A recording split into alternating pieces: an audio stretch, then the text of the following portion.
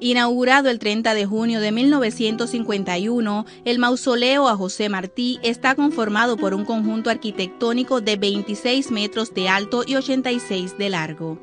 En su parte frontal consta de una calle peatonal de mármol que comunica el exterior de la necrópolis con el monumento y que lo atraviesa hasta los límites posteriores del terreno.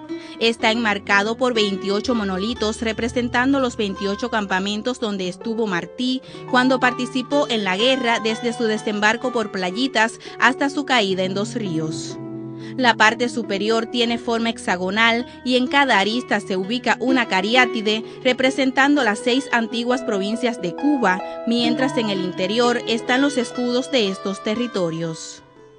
Justo en el centro del mausoleo se encuentra la cripta funeraria confeccionada en bronce donde reposan los restos del apóstol que descansan sobre tierra traída desde todos los países de América. La escultura de José Martí está hecha en mármol italiano de Carrara, que por su color blanco simboliza la pureza de los ideales de un Martí que se muestra sentado, meditativo y presto a escribir. En lo alto se encuentra el lucernario, el cual posibilita la entrada de luz natural durante el día y en determinados horarios da paso a los rayos solares para que se reflejen directamente sobre la urna funeraria.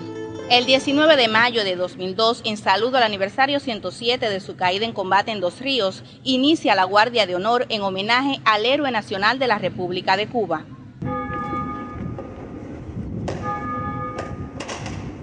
Cinco años después, el 30 de julio de 2007, el presidente de los consejos de Estado y de Ministros, Raúl Castro Ruz, inaugura la llama eterna.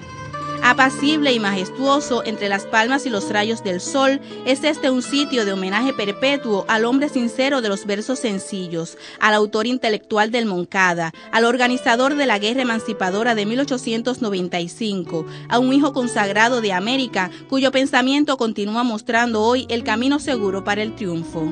Desde Santiago de Cuba, Julia González Bazán, Cuba Visión Internacional.